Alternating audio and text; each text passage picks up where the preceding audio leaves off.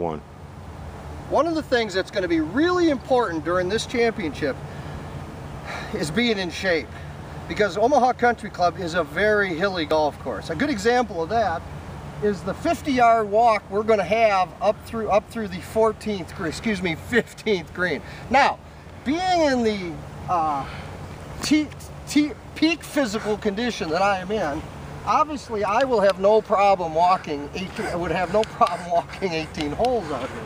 However, some of the maybe the less fit seniors might have might be struggling walking up this hill. Now, we've gone 25 yards so far. I don't notice if you can notice me panting yet or not, but it does feel like it's getting a little tough.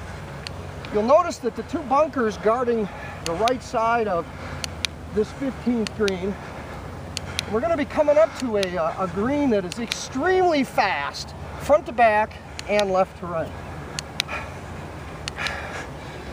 We're getting there. We have almost reached the top. And finally, the 50 yard walk is over. Now, think about that with a 95 degree day out. Maybe you're not as good a shape as I am. It could pose problems for players out here during the week.